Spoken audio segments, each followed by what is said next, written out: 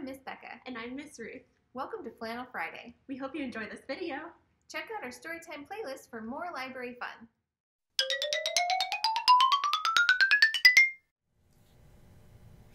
There were five in the bed, and the little one said, Roll over, roll over. So they all rolled over, and one fell out. Then there were four in the bed, and the little one said, Roll over, roll over.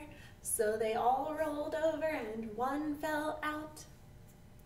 And then there were three in the bed, and the little one said, Roll over, roll over. So they all rolled over, and one fell out. Then there were two in the bed, and the little one